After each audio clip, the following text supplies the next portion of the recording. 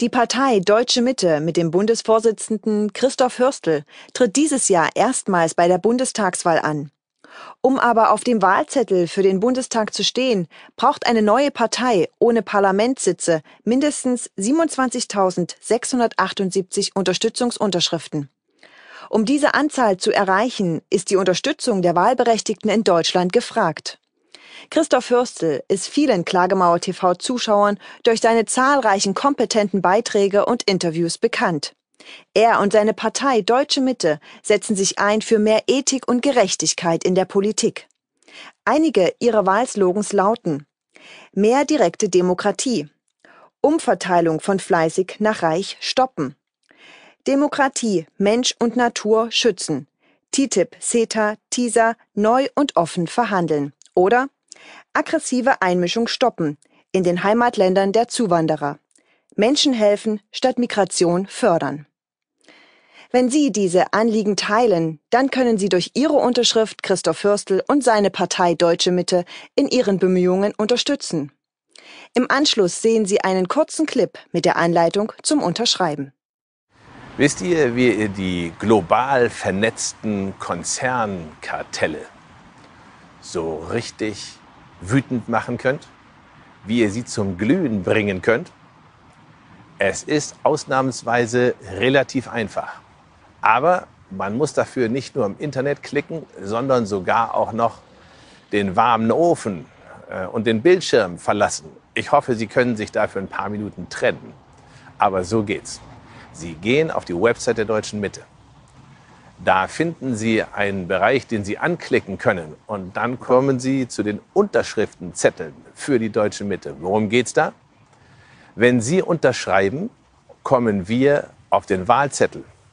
Und wenn wir erstmal auf dem Wahlzettel sind, bin ich sicher, kommen wir auch in den Bundestag. Weil bis dahin wird sich außenpolitisch einiges tun. Und das wird einen solchen Ruck geben, dass da einige aus dem Sessel kommen, die bisher nie dran gedacht haben, dass jemand sie da überhaupt rausholen könnte. Übrigens, die mehr als 3200 Mitglieder der deutschen Mitte sind alle so gestrickt. Die haben alle im Sessel gesessen und dachten, da werden wir uns nicht raus erheben, schon gar nicht, wenn es um Politik geht, weil das ist alles Gelüge. Aber dann sind sie doch gekommen, da haben die deutsche Mitte gemacht.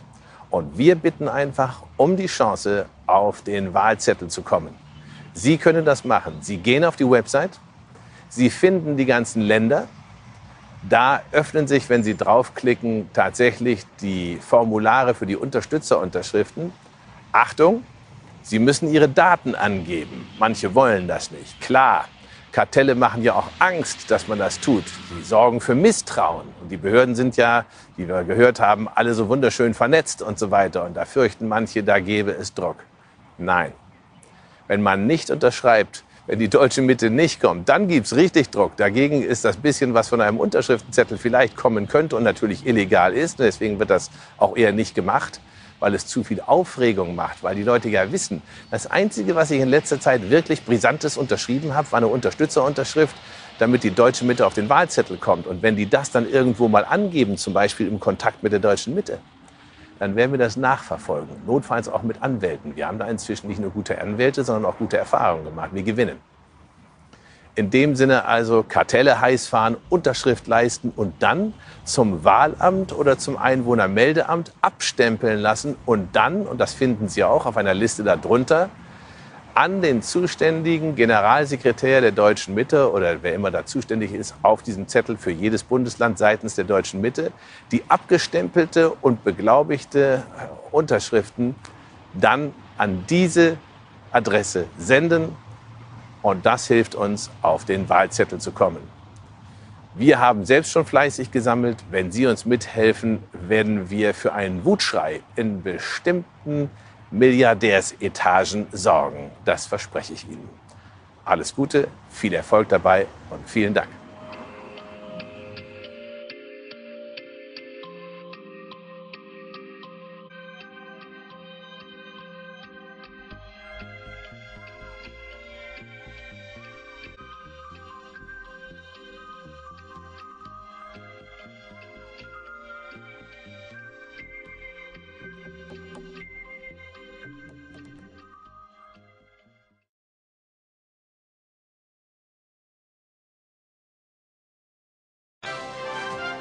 Christoph Hörstel.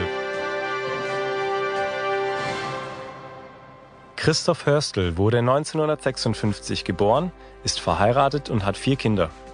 Nach Wehrdienst und Ausbildung auf der Deutschen Bank und Studium in München studierte er Sprachwissenschaft und Literatur in Chinesisch, Französisch und Spanisch. Christoph Hörstel war viele Jahre Sonderkorrespondent und Nachrichtenautor bei ARD. Er ist Experte für Zentral- und Südasien Nah- und Mittelost-Sicherheitsfragen, spezifisch was die islamische Bewegung und diesbezügliche Sicherheitsfragen betrifft. Von 1985 bis 1999 berichtete Christoph Hörstel unter anderem für ARD aus Pakistan, Afghanistan und Kaschmir, moderierte tausende Live-Sendungen. Weitere Einsätze machte er in den USA, Ukraine, Indien, Irak und Iran. 2001 gründete er die Regierungs- und Unternehmensberatung Hörstel Networks in München, seit 2010 auch in Potsdam. 2006 bis 2007 coachte er ausgewählte Führungskräfte der deutschen ISAF-Truppen im Fach Landeskunde Afghanistan. Zur Erklärung, ISAF war eine Sicherheits- und Wiederaufbaumission unter NATO-Führung im Rahmen des Krieges in Afghanistan von 2001 bis 2014. Während der Wintersemester 2006-2007 lehrte Christoph Hörstel am Institut für Friedensforschung und Sicherheitspolitik an der Universität Hamburg zum Thema Terrormediation am Beispiel Afghanistans. 2013 rief Christoph Hörstel eine Bürgerbewegung der politischen Mitte aus und gründete die Partei Deutsche Mitte. Erst bis dato erster Bundesvorsitzender.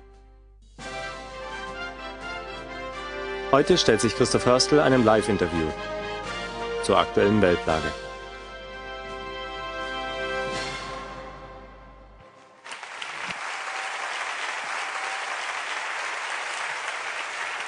Danke.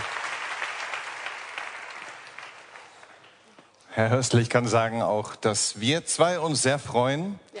dass Sie mal wieder sich die Zeit nehmen, um Fragen zur aktuellen Weltlage zu beantworten. Als ich vorhin hier hochgekommen bin, habe ich gedacht, es ist Abend geworden auf der AZK. Sogar ein bisschen gemütlich. Aber es kann gut sein, dass es ähm, nicht so gemütlich wird, wenn es jetzt darum geht, doch nochmal äh, ein Update zu liefern von ähm, all den Themen, die Sie in den letzten Wochen auch so mitbewegt haben, in den letzten Auftritten und Interviews. Was bringt Sie dazu, von einer Krise zu sprechen und wieso steht die jetzt vor dem Ausbruch? Wir hören das von Analysten weltweit. Wir lesen das in unseren Mainstream-Tageszeitungen. Wir haben einen Beschluss der Bundesregierung, dass die Bundesbürger sich für 14 Tage verproviantieren und mit allen, wie soll man sagen, Waren des täglichen Bedarfs eindecken sollten.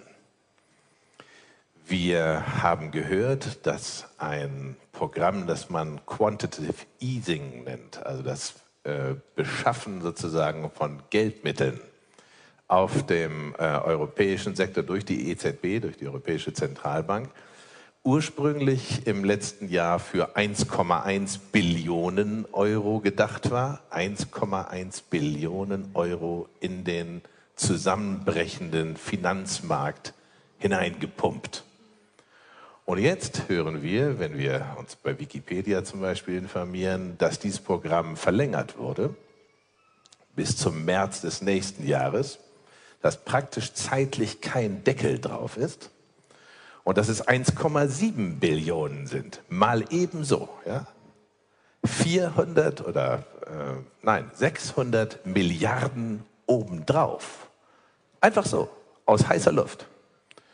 Und wir haben Erleichterungen um äh, ein OMT, äh, Outright Monetary Transfer, ein weiteres System, um weiteres Geld noch weniger kontrolliert in den Markt zu pumpen oder sagen uns die großen Medien, ach, das wird sowieso nicht stattfinden. Und die reine Erklärung, dass das stattfinden könnte, die wird ja die Märkte schon beruhigen. Und äh, ich will mal sagen, was des organisierten Kartellschwachsinns in den Medien mehr ist. Und diese Dinge müssen uns beunruhigen. Wir haben jetzt in einem wunderbaren Vortrag ähm, von Herrn König äh, gehört, dass Griechenland vor 14 Tagen im Grunde genommen sein Vaterland abgeben musste. Anders kann ich das ja gar nicht sehen. Das ist der, die, der totale Ausraub eines ganzen Volkes mit deutscher Hilfe. Also diese Art Dinge, äh, müssen uns dazu bringen, dass wir sagen, so, das kann nicht gut gehen. Aber jetzt habe ich noch gar nicht von den Insidern gesprochen, mit denen man ja auch reden muss, wenn man was wissen will. Und die sagen, es kann jetzt jede Sekunde knallen. Jede Sekunde knallen heißt, Lehman Brothers war gegen das, was uns droht, äh, nur ein kleiner Waldspaziergang. Jetzt kommt der echte Crash. Und das kann tatsächlich jeden Moment passieren. Die Deutsche Bank hat gerade enorm gewackelt. Jetzt wird das wieder so ein bisschen hingebogen. Ja? Äh, die Bundesregierung lässt zur Unzeit verlauten, sie wollte der Deutschen Bank nicht helfen. Da sage ich als Deutscher vielen Dank. Wenn die Bundesregierung die Deutsche Bank schon abschreibt, wer soll sie dann stützen? Und es ist nicht deswegen, weil ich in diese Banker schwer verliebt wäre, Gottes Willen, oder weil ich deren Geschäftsmethoden billige, sondern einfach nur sage, Moment mal, im Moment ist es noch unsere Deutsche Bank. Vielleicht gehört ein Teil davon Katar aus durchsichtigen Gründen. Aber es ist immer noch unsere Deutsche Bank und da hätte ich mir von der Bundesregierung vielleicht nicht lautstark, aber hinter den Kulissen doch was anderes gewünscht, als ein öffentliches Abschreiben dieses Instituts. Das hatten wir. Und dann äh, merkt man, okay, wir werden vermutlich nicht an dieser Schwelle scheitern, weiß man nicht. Aber es kann morgen die nächste sein oder übermorgen. Und so eine Situation ist ja politisch nicht mehr zu verantworten. Und das ist die Lage, in der wir jetzt sind. Jeden Tag kann es krachen. Und dann sind die Spargelder, um das zu sagen, wie beim letzten Mal, wir wissen ja auch heute, weil wir es nachgelesen haben, als Frau Merkel damals noch mit dem SPD-Finanzminister, diesem berühmten, der jetzt gerade abgetreten ist, erklärte, die Spargelder seien alle sicher. Das haben die aus der heißen Luft heraus erfunden. Das haben sie nachher zugegeben. Heute wird diese Erklärung niemand mehr glauben. Das muss uns auch klar sein. Haben Sie denn schon Vorräte im Keller und für wie lange? Ich habe ein bisschen Vorräte gebildet, aber gar nicht genug. Äh, und ehrlich gesagt, ich kann mir das gar nicht so richtig leisten, auf einen Schlag äh, finanziell rein schon, nicht? Äh, für 14 Tage alles zu besorgen. Und deswegen habe ich gedacht, ich mache das, was der liebe Gott gibt, sozusagen, was klappt und den Rest müssen wir sehen. Ja. Aber was steckt dahinter, dass ähm, wir über die Medien sogar mit der Wahrheit versorgt werden, dass man rät, diese Vorräte, äh, diese Vorratsmaßnahmen zu bilden? Was steckt da für eine Zielsetzung aus Ihrer Sicht hinter? Es geht darum, die Bevölkerung psychologisch vorzubereiten. Es geht auch daran, dass man ein Stück Verantwortung regierungsseitig weggibt und sagt, so, das kann passieren, ihr wart gewarnt, aber was ist das im Grunde? Im Grunde ist das ein Offenbarungseid der Regierung. Und nicht nur der Regierung, auch der Opposition. Denn hat die Opposition irgendwas getan, um darauf hinzuweisen, dass diese Dinge drohen? Nix. Und der Offenbarungseid geht ja noch ein Stückchen weiter. Der geht dahin, dass wir wissen, für die Ärmsten der Armen in Deutschland etwa für ein Viertel der Bevölkerung, insbesondere aber für Sozialhilfeempfänger, ist gar nicht vorgesehen. Nichts. Wir lesen in Hintergrundpapieren, dass man tatsächlich diese Bevölkerungsanteile für, ich sage jetzt ein ganz hartes Wort, für verzichtbar hält. Wir wissen ja oder wir ahnen, dass wenn es einen Crash gibt, es einen Krieg geben könnte. Und in diesem Krieg äh, könnte es auch so sein, dass man auf einen Teil der Bevölkerung schlicht verzichten müsste. So hart ist das. Und dies scheint äh, ein Vorspiel dazu zu sein. Aber es geht noch eine Umdrehung weiter. Ich habe vor einigen Tagen eine Parteiversammlung gehabt in Baden-Baden. Und da war ein Unternehmer dabei und er hat gesagt, ich bin Spediteur. 14 Tage, unsere Verdienstmargen sind so gering, dass wenn wir nur zwei Tage Pause haben, ist die Firma pleite. Pleite. Erledigt.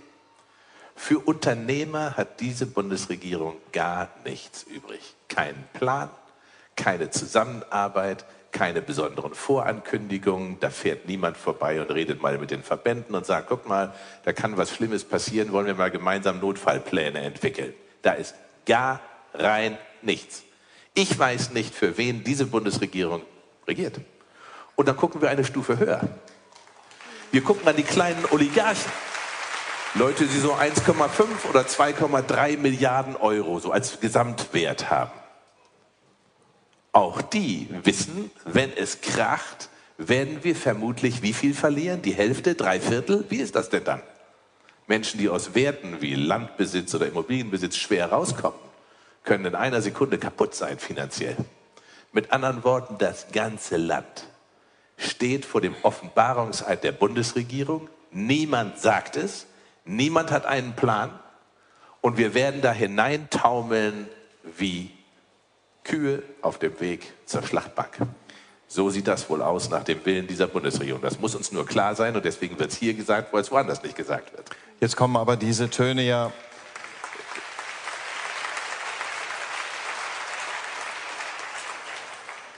diese Stimmen nicht ja erst jetzt heute. Also ja. man kann sich erinnern, dass es eigentlich schon eine Weile kursiert, oder bewusst wahrgenommen wird, äh, so kann es nicht weitergehen. Wir sind an allen ähm, Punkten ausgereizt.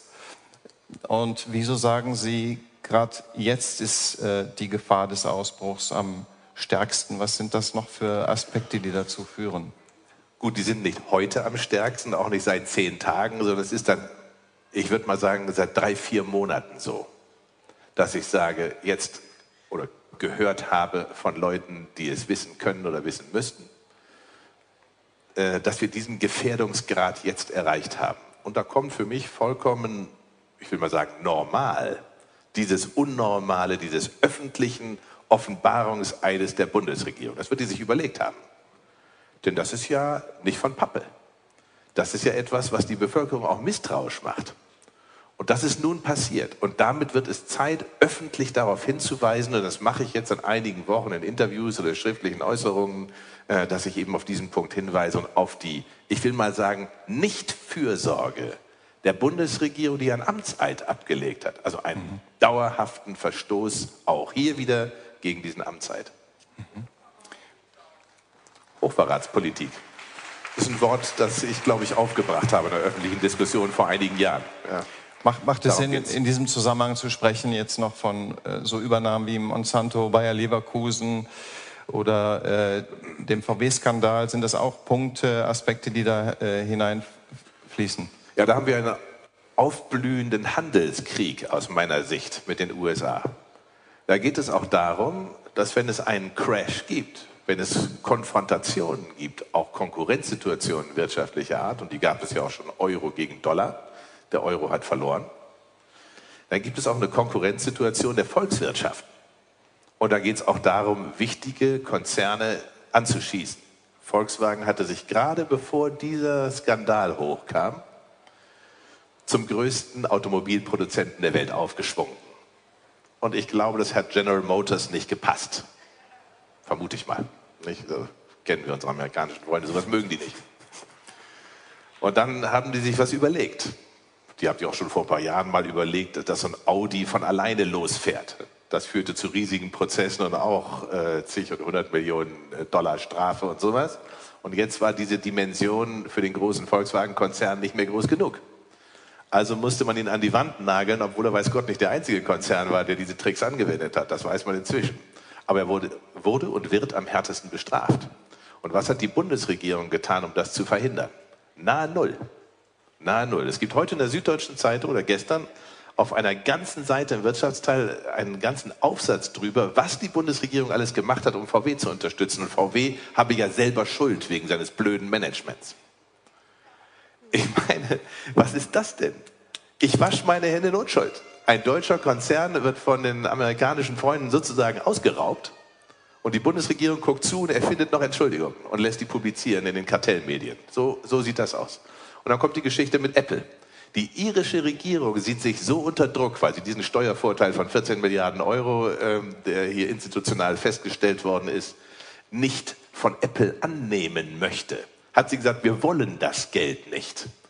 Ich möchte mal wissen, was eigentlich die Armen in Irland, Sozialhilfeempfänger und solche Leute dazu sagen, dass der Staat mal eben an einen, an den reichsten Konzern der Welt ja, das ist der wohlhabendste, der Konzern mit der größten Barreserve, dass die denen auch noch 14 Milliarden Euro schenken. Das sind die perversen Situationen immer in der Endzeit eines Systems. Das muss uns klar sein.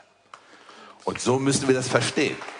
Da wird noch in letzter Sekunde geschachert und sich in die Taschen gedrückt und wird gelogen. Und natürlich wird immer das gemacht, was wir schon seit Jahren kennen. Die Völker werden regelrecht betrogen und ausgeraubt. Darum geht's gegenüber einem Großkonzern auf solche für den läppischen Steuerbeträge zu verzichten und 0,5 Prozent oder so ähnlich Steuern einzunehmen, das ist nichts anderes als Betrug und Raub am Volk. Die Regierung ist dafür da, per Amtseid Schaden vom Volk abzuwenden. Hier ist ein Schaden von 14 Milliarden entstanden und die irische Regierung sagt, kackfrech, wollen wir nicht haben.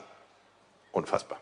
Gibt es aus dieser Situation überhaupt Auswege und wenn, welche? Wir haben ja noch eine kleine Sicherheitssituation am Rande.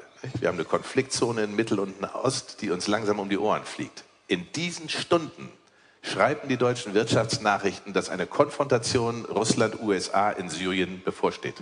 Ganz eindeutig. Die Amerikaner denken lauthals offen darüber nach, dass sie schwere Waffen, Luftabwehrwaffen und weiterreichende Raketen an die Terrormilizen in Syrien liefern wollen. Und dann eskaliert der Krieg. Russland und Iran werden sich in ihrem Engagement nicht abschrecken lassen von solchen Zusatzbewaffnungen äh, für IS oder andere. Das ist ganz eindeutig. Dann geraten die aneinander. Aber es geht noch ein Stück weiter. Der Sprecher des Auswärtigen Amtes, des State Department in Washington, Kirby, hat erklärt, es könne ja auch zusätzliche Bodybags, Tote geben unter der russischen Armee in Syrien. Und es könnte ja auch sein, und jetzt wird es ganz hart, dass russische Städte angegriffen würden. Wenn wir wissen, dass an die 100 Prozent des internationalen Terrors staatsgemanagter Terror ist, und wenn die USA in dieser Weise Russland darauf hinweisen, da könnten eure Städte betroffen sein, dann ist das eine nackte, unverhüllte Drohung der USA offiziell gegen Russland. Das ist eine Kriegsdrohung. Da stehen wir heute. Und jetzt kommen wir zu den Auswegmöglichkeiten. Immer wenn das Finanzkartell oder die großen Kartelle vor einer Crash-Situation stehen, kommen sie auf die Idee, wir brauchen einen Krieg. Der Zweite Weltkrieg verdankt seinem Entstehen dem Black Friday und dem Crash, der dann weltweit folgte, an dem Deutschland beteiligt war. Und wir haben jetzt die Situation, dass wir dieses Doppeldesaster, das uns alle an Gut, Leib und Leben bedroht, dass wir dem begegnen müssen. Und da gibt es eine ganz einfache Maßgabe. Und jetzt komme ich endlich zu der Antwort von der Frage. Was können wir tun? Wir dürfen offenen Auges mit den guten Vorträgen, die wir haben, mit den Informationen, die wir haben, entscheiden, was ist der Knackpunkt dieses Drecksystems, das uns ausraubt und bedroht. Und das ist das Finanz- und Geldsystem. Das sind Zins, Zinseszins und das Schuldgeld, das erfundene Privatgeld der privaten Banken. 90 Prozent des Marktes, vielen Dank für die Zahl. Das ist die Sache. Wenn also jetzt politische Organisationen kommen, Nachdenkclubs, Bürgerinitiativen, Bewegungen, was auch immer, das ist, Bild ist vielfältig. Gerade habe ich mit einem Deutschen gesprochen, der gerade in Holland sitzt, da gibt auch was Neues. Und ich stelle immer nur eine Frage. Was sagen die zum Zinssystem und was sagen die zum Schuldgeldsystem? Warum? Wenn wir den Kartellen an den Wagen fahren wollen, dann müssen wir ihnen ihr gottverfluchtes Verdienstmodell wegnehmen. Und das geht nur auf eine Weise. Zinsen runterfahren und die Schuldgeldverschuldung runterfahren. Der Staat, die Bürger können für ihre eigene Finanzierung locker sorgen. Und der Staat hat die verdammte Pflicht und Schuldigkeit, den organisatorischen, politischen Rahmen dafür zu bilden und zur Verfügung zu stellen, für das Wohl seiner Bürger. Und wir dürfen beurteilen, welche Bewegung hat dieses als oberstes und unverrückbares Ziel. Dann kann man sie nämlich dafür verhaften, dass sie dieses Ziel auch wirklich verfolgt. Und da gibt es eben verdammt wenige, leider Gottes. Und deswegen müssen wir uns gut umschauen, wer macht das und an die können wir uns wenden. Dort können wir mitmachen. Und der Rest ist Zeitverschwendung. Und ich will auch noch mal was ganz Böses dazu sagen. Der Rest ist wahrscheinlich auch vom System bereitgestellt, um ihre, eure Zeit zu verschwenden und das System zu verlängern. Und das ist tödlich. Das kann tödlich sein. Deswegen heißt es sofort umkehren und zu diesem Punkt kommen. Gut, Gehen wir dann mal zu der Sicherheitslage in Europa. Ich hörte jetzt vor einiger Zeit eine Aussage von einem Bekannten, der sagte, ich bin dankbar, in einem sicheren Land wie Deutschland zu leben. Wie sieht die Sicherheitslage aber tatsächlich aus? Also wie ist da Ihre Einschätzung und äh, genau, Sie uns da einen Überblick geben können? Wir sehen, dass unter der Fuchtel der Kartelle die abhängigen Regierungen, denn wie auch schon der König gesagt hat, es ist ja nicht Obama, der zu sagen hat, was die USA außenpolitisch tun.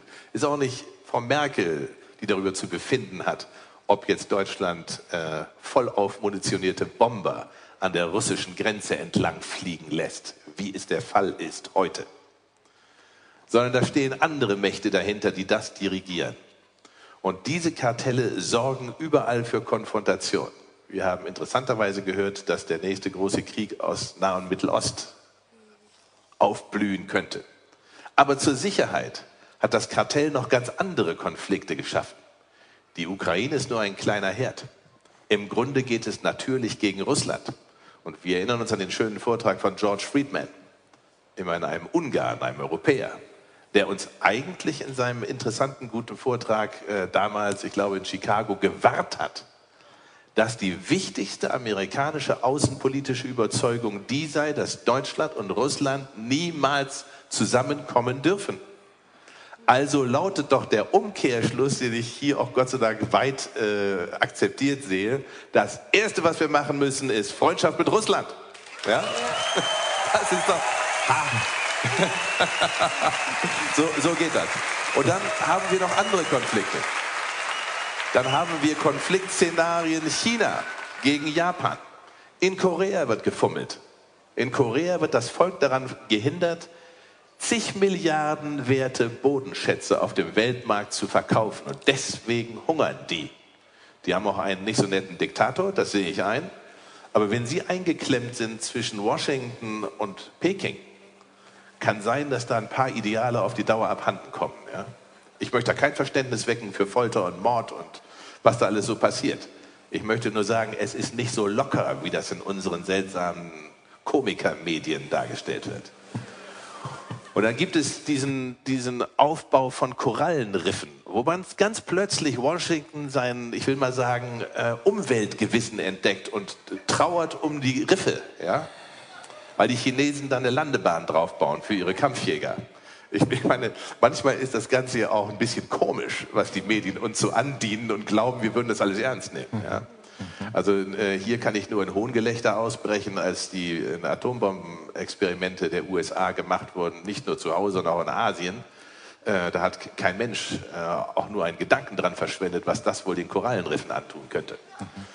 Also das, das sind, so, sind so unsere komischen Politikmethoden. Äh, und dieses ganze Weltszenario, das kriecht so langsam auf uns alle zu. Sechs Schauplätze, in der Arktis steht man sich gegenüber, inzwischen auch mit russischen Spezialkräften, nachdem das Feld vorher nur den USA überlassen blieb. Inzwischen gibt es auch Zusammenstöße, sozusagen Sicherheitsfragen mit der zivilen Luftfahrt, weil Russland genau das tut, was die USA schon lange tun, nämlich weltweit, wo sie das Recht haben, mit ihren schweren Waffen herumzufliegen. Wir haben uns daran gewöhnt, dass die USA so eine Art Exklusivrecht auf dem Globus haben. Plötzlich sagt Putin, äh, dürfen wir vielleicht auch mal so den einen oder anderen Flug machen? Nein. Washington sagt da ganz klar nein. Und Putin sagt, okay, ich halte mich nicht dran. Das ist die Situation. Ja? Wir, wir lachen jetzt. Aber es wächst uns langsam bis hier. Und irgendwann ist das mit diesen Kriegsrücken und diesem Eskalieren und diesem Aufbau so, dass es ganz blutiger Ernst werden kann. Und davor möchte ich eben warnen. Äh, kann man aber dann trotzdem sagen, in Deutschland sind wir sicher? Eher nicht. Ich, ich frage mal so, würden Sie Frau Merkel Ihre Geldbörse geben? Nein. genau. Ja. Ich, hab, ich meine, ich will gar nicht davon reden, ich weiß nicht, ob Sie Kinder haben. Aber ich, ich würde meine Kinder nicht mit Frau Merkel zum Nachmittagsspaziergang schicken. Ja. Auf keinen Fall. Es hat gerade jemand äh, draußen an Auto und Aufkleber gefunden, da steht drauf, merkelt ihr nicht, wie man euch vergaukelt? Wunderbar. Ich glaube, das ist eine gute Antwort ja. darauf. Genau, ja, sehr gut. Ja, äh, wie kommt es denn eigentlich zu dieser hochgefährlichen Lage? Äh, die meisten sprechen ja jetzt schon tatsächlich vom Dritten Weltkrieg. Ja, und da ist eben wegen dieser genannten sechs Kriegsszenarien weltweit, die so langsam aufblühen, Bedrohung. Ich meine, es geht bis zur Atomkriegsdrohung, die in Nordkorea so inzwischen politische Tageswährung geworden ist. Ja. Da, da geht es darum, dass Leute sagen, Freunde, in Wahrheit hat der dritte Weltkrieg doch längst begonnen. Ähm, ich warne so ein bisschen sozusagen, die Dinge noch verbal zu eskalieren. Sie sind ja in der Realität schlimm genug. Aber eines muss man sagen, das Wort Weltkrieg ist in der jetzigen politischen Analyse absolut am Platz. Und da kann ich nur sagen, als, als Analyst, als jemand, der von Sendern gefragt wird um ein Interview, wenn, wenn irgendwas hochbrennt, ähm, Alarmstufe Rot. Hier wollen wir, hier dürfen wir nicht weitermachen. Denn ich meine, wie, wie nah geht Weltkrieg noch, wenn wir wissen, dass die Crash-Frage schon jeden Tag gestellt werden kann, dass das nicht im Bereich von Lehman Brothers mehr abgeht, was sozusagen die Schadenswelle weltweit angeht. Und wenn wir wissen, dass diese Kriegsszenarien jeden Tag eskaliert werden, das verfolge ich ganz genau, minutiös, ich beschreibe das schriftlich, mündlich in Interviews. Ich bespreche das insbesondere im iranischen Rundfunk mit meinen iranischen Freunden. Diese Interviews finden fast wöchentlich statt, also manchmal auch zweimal wöchentlich. Das ist inzwischen so eine kleine Kultfunktion schon geworden, die da kommt. Äh, und wir sind, uns, wir sind uns ganz einig, es ist brandgefährlich geworden. Und das ist eigentlich nur das Fazit, das wir hier ziehen können. Und diese ähm, Zunahme von Gewalttaten, Anschlägen, äh, Anschlägen in Europa, also ja. ich denke, wir erinnern uns alle an Istanbul, Paris, Brüssel, Nizza, München. Äh, ich habe noch irgendwo äh, in Erinnerung auch ähm, dieser, diese Zugattacke Würzburg. Irgendwo, ja. man hat den Eindruck, es kommt doch greifbar näher. Also vor noch wenigen Jahren konnte man diese Art von Aggression immer noch ein Stück weit, ich sag mal, aus dem Betrachterauge mit Sicherheitsabstand wahrnehmen.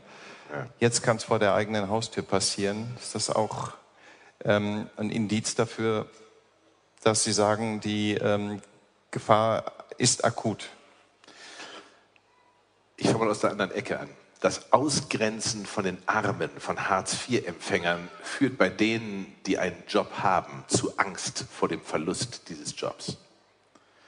Wir haben hier Terroranschläge, von denen die Mehrzahl meiner Ansicht nach Resultat von Terrormanagement der beteiligten Regierungen und Staaten ist.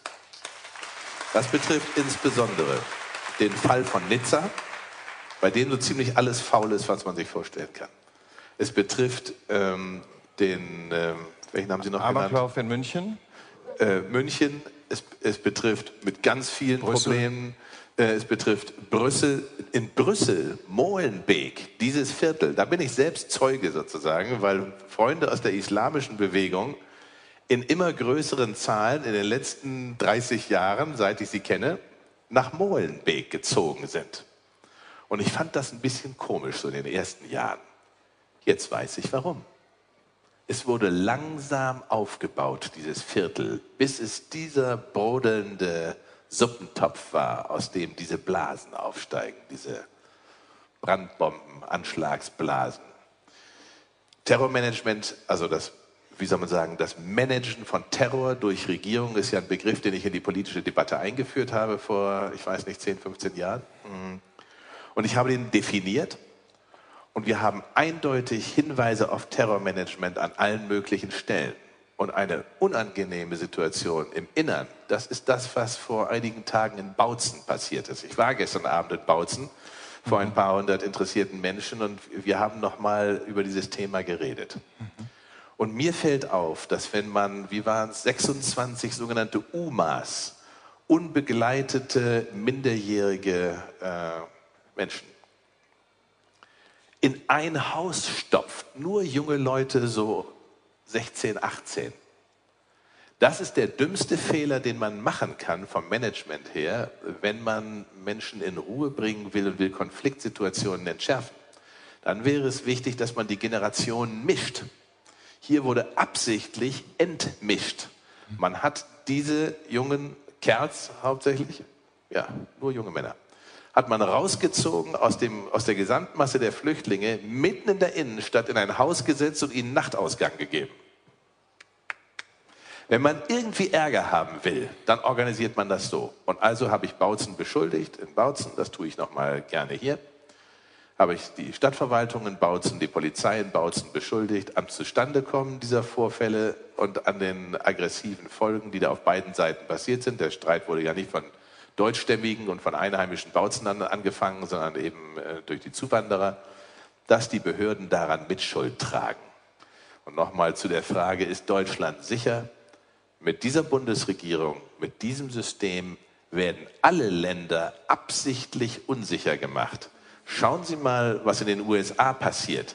Diese sagenhaften Schulschießereien mit den erstaunlichsten Stories dahinter, die nicht stimmen können. Ich verweise nur auf den Fall Winnenden, aber es gibt noch mindestens einen, der genauso dreckig ist wie das, was in den USA passiert. Vollkommen ungereimte Story. Und da war ich auch persönlich äh, betroffen, weil ich eingeladen wurde, die Pressekonferenz zu halten. Weil der Buchautor Grant sich nicht, wie soll man sagen, fit fühlte, das alleine zu machen. Und die Fakten, die ich noch jenseits seines Buches von den Originalquellen gehört habe, die waren schlimmer als das, was im Buch steht. Mit anderen Worten, wir haben eine unangenehme Situation, in der NATO-Regierungen meinen, dass sie ihre Bevölkerungen kirre und in Angst halten können, indem sie sie durch selbstorganisierten Terror bedrohen und bedrohen lassen.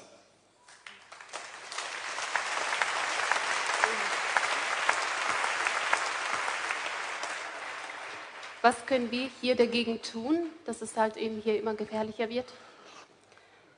Wir können uns vernünftig schützen. Vernünftig heißt, dass wir in krisenhaften Situationen große Menschenansammlungen meiden. Interessant, nicht? Eine große Menschenansammlung ist nämlich auch eine Demonstration. Da wollen wir hingehen. Egal, was das kostet.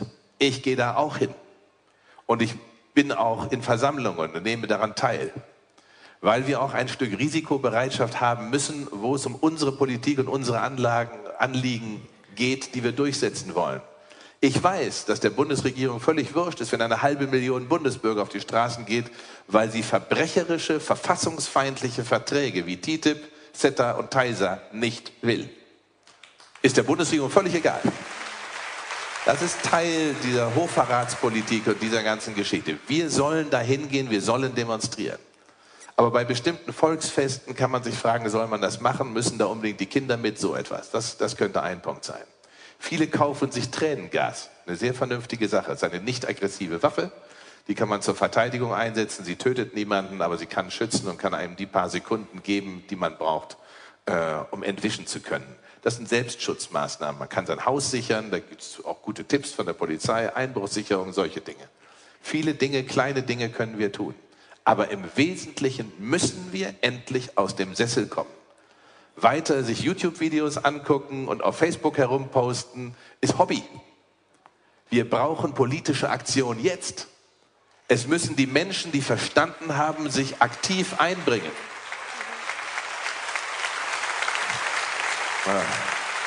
Das tut gut. Das ist ein Grund, warum ich gerne hierher komme. Weil hier Menschen sitzen und zwar nicht so wenige, die haben es begriffen. Und wir müssen, und ich sage das gern nochmal, weil man das nicht oft genug sagen kann, wir müssen uns in die richtige Richtung bewegen, ohne weitere Zeitverschwendung. Wir haben tolle Akteure, die uns die Wahrheit sagen und interessante Analysen bringen. Die Zeit ist vorbei. Wir kennen die Wahrheit. Wir haben genug Analysen gehört. Wir brauchen Kräfte, die sich gegen das Verdienstmodell der Finanzkartelle wenden. Sicher, nicht nur versprochen die sich verpflichtet haben, die ihre Glaubwürdigkeit daran gehängt haben, dass sie dieses als oberstes Ziel haben. Und dann haben wir eine gewisse Gewähr. Unsere Arbeit, unsere Zeit, unser Einsatz, unsere Opfer könnten nicht vergeblich sein. Wie sonst so oft. Wir haben in Deutschland gerade eine große, schöne Parteigründung. Großer Jubel überall. Sagen die irgendwas gegen das Finanzkartell? Oh nein. Was sagen die zur NATO?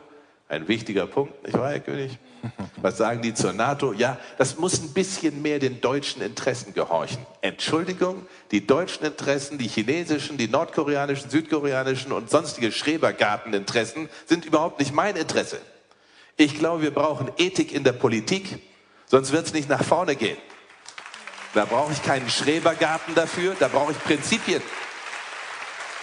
Und wenn Sie fragen, wo kommt was Gutes her, dann wäre es das Prinzip, wir führen keine Kriege mehr.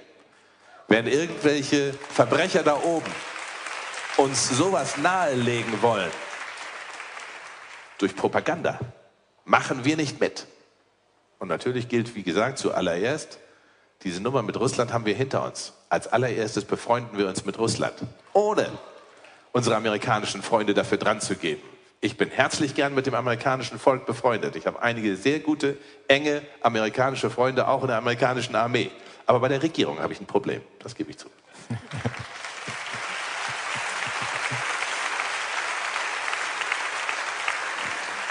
Herr König, Herr König hat ja auch noch äh, den EU-Austritt und äh, den Euro-Exit angesprochen.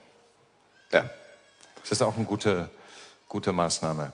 Das finde ich ganz prima. Ich habe das etwas langsamer gemacht bei uns in der deutschen Mitte, weil ich nicht sozusagen alles in die Tonne treten wollte, worin das deutsche Volk sich im Moment bewegt. Ja. Also habe ich gesagt, wir gehen gerne aus dem Euro, aber nicht als Erste.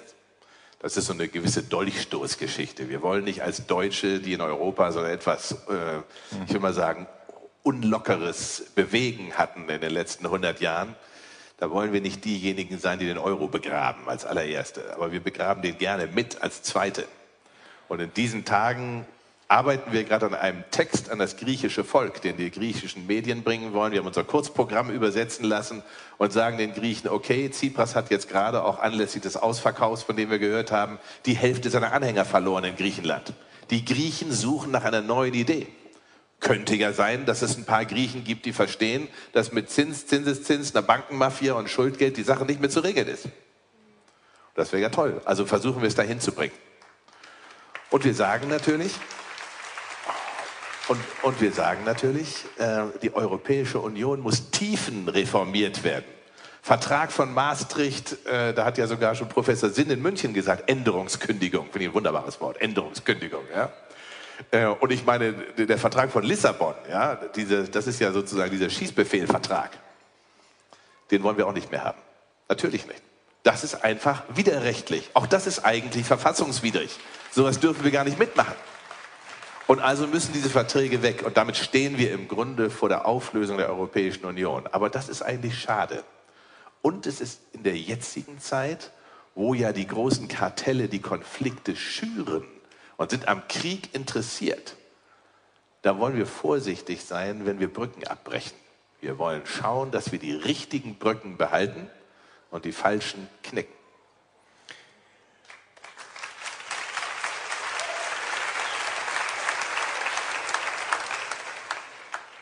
Das war das Stichwort für das dritte Thema, weltweite Krisenherde. Sie sagen, Kartelle halten den Globus in Geiselhaft.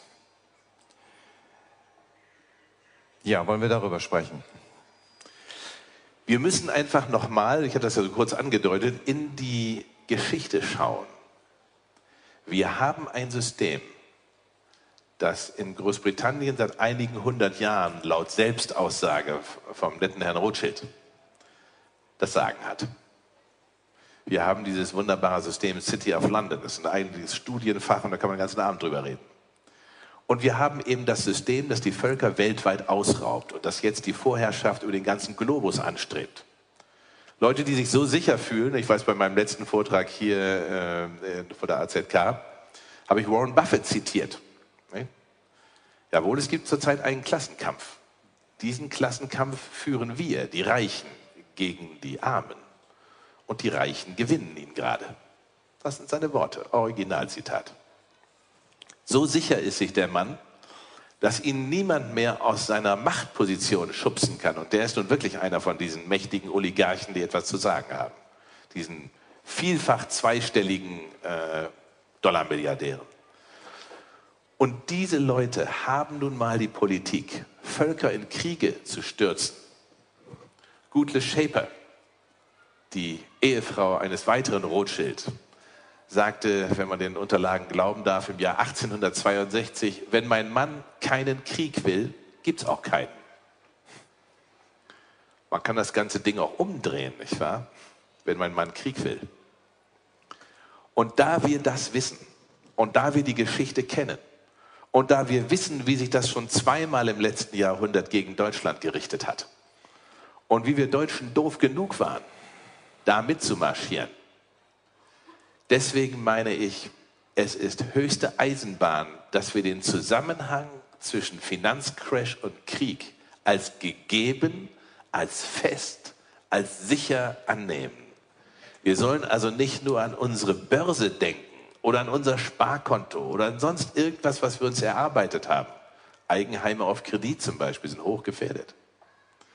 Ähm, sondern wir sollen daran denken, dass es an unser Blut geht, an unseren Hals, an unser Leben, an unsere Kinder. Automatisch dann, wenn die finanziellen Krisenmeldungen kommen. Denn es könnte sein, dass das Kartell einschätzt, wir könnten jetzt bei diesem Crash Macht verlieren. Dazu sind sie nicht bereit. Sie geben kein Tüttelchen freiwillig ab. Also muss uns klar sein, wir müssen bei dem Thema Crash an das Thema Krieg denken. Unbedingt, untrennbar miteinander verknüpft. Und dann können wir uns in dieser Welt bewegen. Dann wissen wir, es reicht nicht zu sagen Frieden. Es reicht nicht zu sagen Freundschaft mit Russland. Es muss immer gesagt werden und ohne Zinsen, ohne Zinseszinsen und ohne Schuldgeld und ohne die Herrschaft der Finanzmafia weltweit. Sonst können wir den Frieden nicht retten.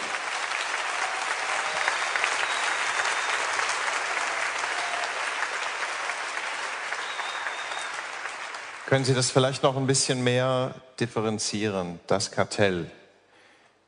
Dass es nicht so pauschal bleibt, sondern... Ähm das ist interessant weil die wissenschaftlichen Studien, die es dazu gibt, und ich habe mich hier beim letzten Mal vor einem Jahr, deswegen rate ich auch noch, wer dir jetzt sachliche Fragen hat, sind vielleicht ein paar neue, der kann sich diesen AZK-Vortrag von 2015 ruhig nochmal antun. Da sind alle Details drin. Da gibt es zwei wesentliche Grundlagen. Das eine ist eben die Studie der Eidgenössisch-Technischen Hochschule in der Schweiz. Eine hervorragende, weltberühmte, hochrenommierte Hochschule, die in einer Studie 2010 gefunden hat, war es 2010, ähm, dass alle Banken weltweit ein Kartell bilden. Alle Banken weltweit ein Kartell. Das sind keine linken Propagandabehauptungen, das ist erwiesen durch diese Studie. Das ist sehr wichtig. Dann müssen wir feststellen, dass Sie ja die Unternehmensbeziehungen weltweit untersucht haben und haben gesagt, 147 Unternehmen weltweit haben, wie viel waren es? 30, 40 Prozent des gesamten Geschäfts unter sich auszumachen. Sowas nenne ich auch ein Kartell. Dann diskutieren wir über fünf verschiedene Kartelle. Wir diskutieren zunächst mal über das wichtigste und mächtigste Kartell, das Finanzkartell. Dieses wird unterstützt und ist darauf auch händeringend angewiesen vom Medienkartell. Wir haben weiterhin Energiekartelle. Das sind die Jungs, die bestimmend waren, als es 2003 gegen den Irak ging zum Beispiel und vorher auch schon gegen Saddam Hussein und die durch die amerikanische Regierung den Irak schon, äh, schon äh, Operation Desert Storm haben erpressen lassen, seine Ölvorräte billig an die USA zu verkaufen. Die USA hatten ja vorher den Ölpreis gesenkt, wie sie es gerade jetzt machen. Nicht? Auf die Hälfte des Marktpreises. Damals bis zu 10 und 11 Dollar pro Barrel. Muss man sich mal überlegen. Das war das Niveau. Wahnsinn, wenn man an heute denkt. So, das war das Energiekartell. Und dann wissen wir, gibt es noch ein Rüstungskartell. Das sind die Jungs, die immer verdienen, wenn es kracht und die deswegen brauchen, einfach für die Erreichung ihrer Boni, ja, dass es kracht. Und schließlich kommt dieses berühmte, das ist so das Konglomerat aus äh, Agrochemie, Pharma, Krankheitsmafia, was es da alles gibt. Leute, die äh, dringend daran interessiert sind, dass es uns richtig mies geht die für Selbstmordwellen unter irakischen Bauern gesorgt haben, weil sie denen aufgezwungen haben, Monsanto Saatgut jedes Jahr neu zu kaufen und die Bauern konnten mit diesem System nicht leben. Und dann haben sie sich umgebracht. So ist das gewesen. Irak, kurz nach der amerikanischen Besetzung, hat durch diese CPA, diese Coalition Provisional Authority, die ich selber ja 2003 in, Bagdad kennenlernen durfte, äh, dafür gesorgt, als allererstes dann ein Vertrag mit Monsanto gemacht wurde, dass alles Saatgut im ganzen Irak von Monsanto zu kommen hätte. Unfassbar. Und diese Kartelle haben so viel zu sagen, dass eine von der Universität Princeton mitgesponserte Untersuchung vor einigen Jahren, vor wenigen Jahren dazu gekommen ist, zu sagen, die USA sind keine Demokratie, sondern sie sind eine Oligarchie. Wer wenig oder mittelmäßig viel Geld hat, hat sozusagen nichts zu sagen in diesem Staat. Und je größer das Vermögen, desto mehr zu sagen. Das ist wissenschaftlich erwiesen. Das ist keine linke Propaganda. Das ist nicht irgendeine Erfindung, sondern es hat eine Elite-Uni der Uni in den USA zu verantworten, dass wir dieses wissen. Und dann sind wir, glaube ich, differenziert genug, um zu sagen, was sind das für Kartelle? Was sind das für Leute? Was sind das für Märkte, die sie untereinander aufteilen? Und was sind die geschichtlichen Lektionen aus den 219 Kriegen, vielen Dank für diese Aufstellung, äh, die wir da anschauen dürfen. Da sind sie auf dem Tisch. Da drücken die Kartelle. Da killt die Finanzmafia den amerikanischen Präsidenten Abraham Lincoln, weil er das Schuldgeld abschaffen wollte und weil er die Herrschaft der Privatbanker über das Finanz- und Währungssystem der USA nicht zugeben wollte, bis eben Wilson 1913 bekanntlich einknickte. Das sind die Situationen. Ich hatte Sie 2015 nach der AZK gefragt, wie Sie die Situation beurteilen, den Stand der Dinge, und Sie sagten, wir sind weiter, aber das Problem ist, die anderen sind viel weiter gekommen. Also haben wir eine Aufholjagd. Wie würden Sie das jetzt heute beurteilen? Bis jetzt haben wir die Aufholjagd verloren. Wir haben die Aufholjagd verloren. Wir haben uns nicht schnell genug entwickelt. Wir entwickeln uns immer noch nicht schnell genug. Immer noch glauben die Menschen, sie hätten den Luxus, sich irgendwelchen populären Vereinen anzuschließen. Immer noch haben die Menschen den Eindruck, sie könnten auch erst morgen loslegen. Das ist grundfalsch. Mit der jetzigen Einstellung der übergroßen Mehrheit der Menschen werden wir todsicher untergehen. Wir werden Crash erkriegen, wir werden den Krieg bekommen, man wird uns alles wegnehmen, was wir haben und vermutlich auch unser Leben. Ich möchte niemandem Angst machen. Ich hasse aufgeregte Panikmacher. Aber ich kann ja auch nicht einfach Sie anlügen hier. Ja? Das kann ich nicht tun. Wenn Sie mir eine so ernsthafte Frage stellen, kann ich nur sagen, wir sind nicht mitgekommen. Die anderen waren schneller. Die Kriege, die ich, die Konfliktzonen, die ich geschildert habe. Die Finanzsituation, die ich beschrieben habe, und ich war ja heute nicht allein, Herr König war ja Gott sei Dank auch dabei. Die ist so eindeutig, diese Situation. Das Ausrauben Griechenlands, ganz Griechenlands vor 14 Tagen. Wer zum Teufel stellt sich hin und sagt, das kann Deutschland nie passieren? Hallo? Wird gerade vor unseren Augen VW rasiert? Wird BASF oder nein, wird Bayer in eine in einen Unternehmenskauf gezwungen, der so bescheuert ist, dass sich ein Laie an den Kopf fasst? Was kaufen die denn? Eine dreckige, kriminelle Lobbytruppe kaufen die. Die kaufen den Laden, der Aspartam in den Markt gedrückt hat. Und als er das gemacht hat, hat er mit riesigem Gewinn die Rechte daran verkauft. Das ist Monsanto, das ist deren Geschäftsmodell. Die setzen Regierungen unter Druck. Im Hintergrund schwabbeln die amerikanischen Kanonenboote im sanften Wasser und dann wird verkauft. Und notfalls kommt der Botschafter mal zu Besuch und er sagt ihnen, wo Norden ist. So sieht das aus mit Monsanto. Und Bayer will das kaufen. Wie bitte? Ein kleines Kolonieunternehmen wie Bayer? da lache ich doch drüber. Das geht doch nicht mit rechten Dingen zu und das wird ungut enden. Und wir sind nicht schnell genug. Ich hatte ja schon angedeutet, dass es auch trotz dieser kuscheligen Ecke nicht so gemütlich werden könnte heute Abend. Ja. Das haben Sie jetzt leider bestätigt. Genau. Ähm, Herr Hörsel, wir, was wünschen Sie sich denn für die Zukunft und, oder was würden Sie uns und den Gästen und Besuchern hier noch mitgeben als Rat, als Hinweis? Sie wollen uns ja jetzt nicht so entlassen. Äh, äh, ja, ähm, ich werde das nicht wieder fröhlich machen hier. Im Gegenteil. Ja. Ich gebe Ihnen eine Garantie. Entweder kommen sämtliche Menschen, die dieses Video sehen, aus dem Sessel oder es wird nicht zu retten sein. Sämtliche. Alle. Ohne Ausnahme. Und es reicht nicht mehr.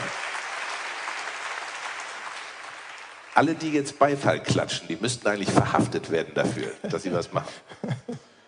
Und es reicht nicht mehr, dass wir freundlich hoffen und gute Gedanken irgendwo hinschicken. Heute schreibt mir jemand auf meiner Facebook-Seite, Herr Höstli, Sie machen den Leuten Angst. Da habe ich gesagt, für gute Nachrichten bin ich nicht zuständig. Wenn Sie meinetwegen Angst kriegen, dann gehen Sie auch weg von meiner Seite. Die Lage müsste Ihnen die Hose ausziehen vor Angst. Ja. Das, ist, das sind die Tatsachen. Deswegen glaube ich eben, auch wenn ich die Zahlen ansehe, in denen das hier verbreitet wird, nur wenn alle aufstehen, haben wir eine Chance. Und vorher haben wir keine. Eine Garantie, dass wir das schaffen, gibt es sowieso nicht. Gestern Abend in Bautzen eine Frage. Herr Höstl, wird das denn klappen, wenn wir jetzt was machen? Als ich als junger Mann, noch unter 30, mit einer Kamera, die ich mir gerade gekauft hatte, von meinem Studentenbudget nach Afghanistan gegangen bin, da habe ich mich innerlich darauf eingestellt, um den Afghanen zu helfen, die gerade von der Sowjetunion heimgesucht wurden. Mit einigen hunderttausend Toten. 1,3 Millionen waren am Ende. Und der größten Flüchtlingsbewegung nach dem Zweiten Weltkrieg. Das ist jetzt das syrische Opfer. Ja, das ist die syrische Position. Da habe ich gedacht, das mache ich jetzt, bis ich 60 bin oder 80. Jetzt bin ich 60, fast 60. Und jetzt stehen wir vor dieser Situation. Ich konnte nicht wissen, dass wenige Jahre später die Sowjetunion zusammenbrechen würde. Ich weine ihr keine Träne nach. Aber ich hoffe auf den Zusammenbruch dieses westlichen Verbrecherregimes, damit für die Völker weltweit die Bedrohung aufhört. Und ich fahre in einen schwarzen Tunnel. Ich weiß nicht, ob das gut geht. Vielleicht habe ich auch inzwischen einen kleinen Unfall. Aber ich war damals bereit, dafür ein Opfer zu bringen, das bin ich heute auch. Wir werden gehen müssen, sonst haben wir keine Chance. Vielen Dank. Vielen Dank. Vielen Dank.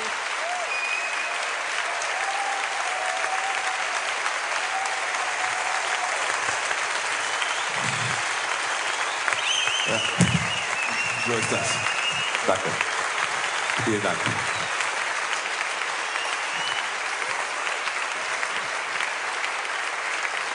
Sie sind aufgestellt wie keine andere Gruppe, die ich kenne, um diese Herausforderung anzugehen. Gehen Sie geradeaus weiter, dann kann es nicht falsch sein. Vielen Dank. Vielen Dank. Alles Gute.